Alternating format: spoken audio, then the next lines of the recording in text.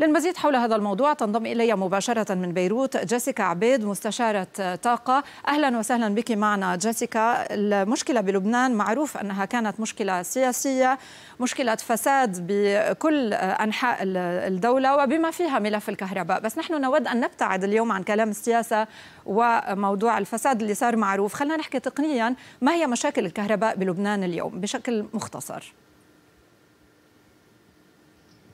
بس بدي أذكر آه، أول شيء إنه عندنا أكيد هيدا العجز اللي ذكرتيه اللي بآخر 10 سنين كان مليار فاصلة ستة آه، دولار بالسنة. وهيدا العجز ببلش أول شيء من دعم الكهرباء. أكيد الدولة اللبنانية بتدعم الكهرباء وبتدعم يعني المستهلك. لما بيستهلك كل كيلووات ساعة عم بيدفع بمعدل 9.5 دولار سنت. ولكن كلفة الإنتاج على الدولة فوق بتتخطى 16 سنت دولار سنت. آه، هل هل تعرف يعني هالانتاج اللي كثير عالي هو بسبب بنستهلك لبنان بيستعمل heavy fuel oil وال diesel oil ال diesel ال diesel oil والفيول الثقيل واللي هن من أغلى الفيول وأكثر الملوثين أكيد كمان المعامل الحرارية كثير قديمة ومهترئة. وكمان عندنا بدنا نزيد ما فينا نقول بس إنه كل الحق على الدعم كمان في عندنا هدر فني وغير فني بيتجاوز ال 36% واللي هن قيمتهم كمان كثير عاليه فمن هودي المشاكل صار عنا آه، أكيد نتجوا من هودي كلهم من إنه مش قادرين نأمن 24 ساعة تغذية. كهرباء لا نقدر نشيل الدعم كمان ما صار في إصلاحات على شبكة الكهرباء.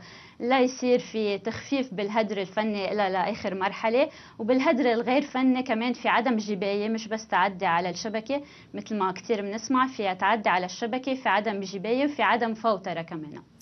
ذكر البيان, الوزاري للحكومة الجديدة أنه لا وقت للقيام بخطة كهرباء جديدة.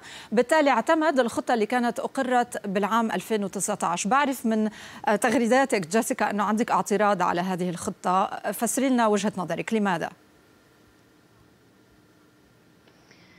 مش قصة اعتراض يعني بالمبدأ هو أصلا حيلا خطة بدها تنتج عن الحكومة اللبنانية خصوصي بالوضع المالي الدقيق والوضع الاقتصادي اللي صار له على القليل سنة ونص كل العالم تحكي تحكي فيه إنه يكون في جدوى مالية اللي هي مش موجودة بالخطة. وبس هي الخطة بترتكز على إنشاء آه تقريبا يعني الفوكس تبعها هي على إنشاء آه معامل مؤقتة ومعامل دائمة واشراكهم بحل واحد يعني آه، بموديل يلي هو PPP شراكة بين القطاع الخاص والقطاع العام. وبالتالي بنجيب شركة هي رح تقوم بالتنفيذ بإنشاء هالمعامل بالصيانة آه، لا على فترة على فترة العقد اللي هي بالعادة بتتراوح بين 20 و 25 سنة. ولا طوال هالفترة الدولة اللبنانية بتشتري كهرباء من هالشركة. واحدة من أهم المشاكل آه إنه الدولة ما عندها رح يكون العقود أكيد بالدولار ولكن الجباية هي بالليرة. آه فانحطت هيدي الخطة على أساس إنه نحن بحاجة آه، خصوصي المعامل المؤقتة إنه نحن بحاجة لنزيد التغذية على السريع. المواطن اللبناني في يقول إنه أنا بحاجة لحل سريع ولكن الحكومة اللبنانية عليها عليها إنه تبرز الجدوى الماليه من هيدا الشيء والأثر الاقتصادي خصوصي إنه رح يضل في دعم لأنه لأنه مثل ما سبق وذكرت رح يكون العقد بالدولار ولكن الجباية بالليرة. يعني حتى بس تتعلى التعرفه رح يضل في عجز. آه كمان رح يكون في مشاكل إنه كيف بالعادة هيدا المشغل الشركة يلي رح تتعهد هيك مشروع ما بتبلش آه بناء آه ولا معمل حتى يصير في نوصل لمرحلة ال financial close يعني اللي بيتأمن كل التمويل. هو بهيك مشاريع بيكون جزء من من التمويل هو equity يعني الشركة بتحط قسم من التمويل والجزء الثاني بيكون دين بتجيبه من مؤسسات مالية. وهيدا الدين أكيد حسب وضع البلد رح يكون بيتعرض لل risk premium يلي فيه مخاطر كثير عالية بلبنان وكلفة الدين العالي وكمان نقدر نوصل لهيدا ال financial close ونأمن التأمين حاليا شيء كثير صعب ونجيب استثمارات على لبنان. وبالتالي هيدي الخطة بهيك نعم. هذه الخطة واضح أنه فيها مشاكل أساسية. يعني بكفي موضوع أنه بدنا ندفع بالدولار للمشغل الأجنبي والدولار آه، يعني في شح كبير اليوم بلبنان. برأيك ما يجب أن تكون أولويات الحكومة؟ يعني اليوم آه، واضح أنه الحكومة يجب أن تعدل بهذه الخطة. لا يمكن المضي قدما فيها كما هي عليها. ما التعديل الذي يجب أن يحصل أو ما هي آه، ما يجب أن تكون أولويات الحكومة اليوم برأيك؟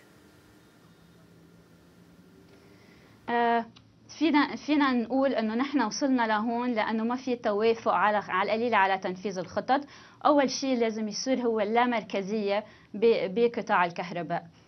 أكيد يعني لازم يتشجع المبادرات كان لازم يتشجع من قبل يلي بيقدر حسب في بلديات يمكن عندها إمكانيات من خلال مستثمرين من خلال الدياسبورا يقدر تنشئ خصوصا كان معامل على الطاقة الشمسية لازم هيدا الشيء يتشجع آه لازم حيلا نقدر نحن أول شيء يكون الهدف تبعنا نخفف الضغط على شبكة الكهرباء وهيدا الشيء اللي ما صار.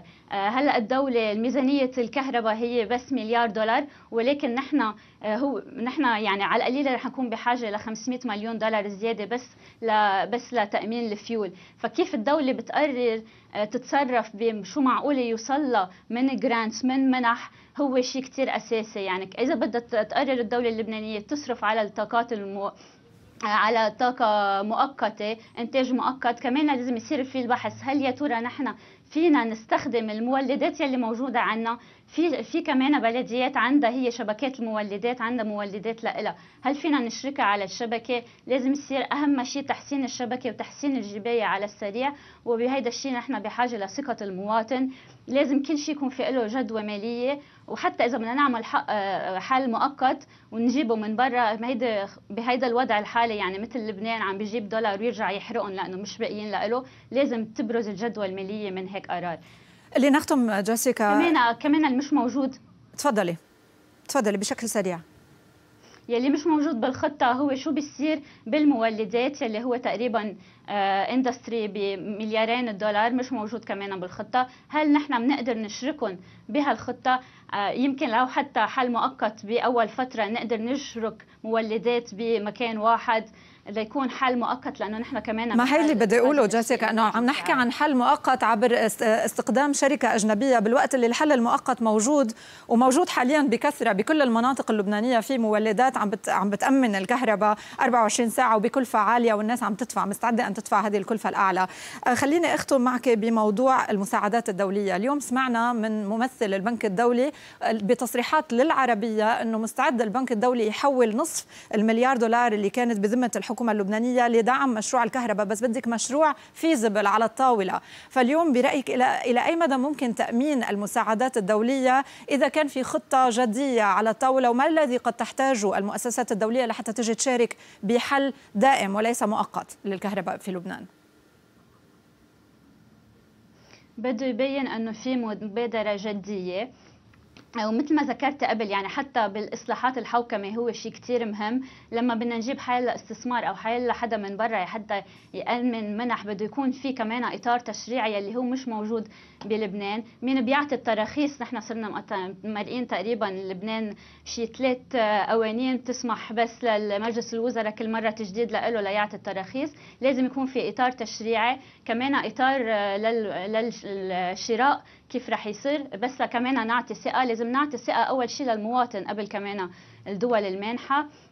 وكمان إطار الحوكمة مثل ما ذكرت إذا بدنا نعمل الهيئة الناظمة لازم تكون هيئة ناظمة مستقلة. تحسين القطاع ما بيصير بس إذا كان عندنا هيئة ناظمة ولكن بصلاحيات الهيئة الناظمة. والهيئة الناظمة لازم يكون دورها تقدر تتخطى العراقيل السياسية ولكن وبالتالي لازم يكون الدور الأهم هو عند تلعبه الهيئة الناظمة ومش الفريق السياسي. بغض النظر مين بيكون الفريق السياسي. ويكون عندها استقلالية مالية آه، استقلالية بالقرار وكمان نعم. استقلالية بال جيسيكا أود أن أختم بموضوع معين. آه، دائما في كلام إنه النزوح السوري لا شك بإنه آه، عمل حمل إضافي على الطلب على الكهرباء خلينا نقول على لبنان. هل في يعني هل نعرف حجمه حجم الطلب الإضافي على الكهرباء اللي حصل من جراء النزوح السوري إلى لبنان؟